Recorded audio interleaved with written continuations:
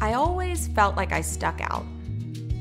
And I remember being on the bus in third grade when my lifelong crush at the time told me he thought I reminded him of an elephant. And now, even though that I'm in my 30s, I will never forget the way that felt. And the pain, that will still always, always stick with me. So about five years ago, I first started my journey with Optavia and I was a stay-at-home mom, was really pretty lonely, even though I was surrounded by people all the time. And honestly, out of my loneliness, I just ate my way through the day. So my body, which already wasn't very healthy, got unhealthier. My husband and I just kind of looked at each other and said, like, I'm not the same person that I used to be. So I, I got started on plan. I lost 30 pounds. But really, what's better than what I lost is what I gained. So I decided to coach really because I wanted to help my mom. She had watched my journey and watched me get healthy.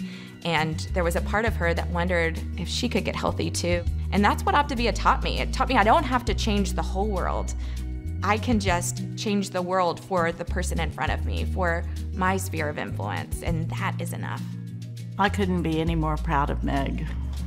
She doesn't have to do anything for me to be proud of her. I'm proud of the person that she is and the way that she loves and leads in this world. I remember that day sitting in convention when they started talking about the Healthy Habits for All initiative. There was just something in my gut. I knew of a local community that was in need of a playground.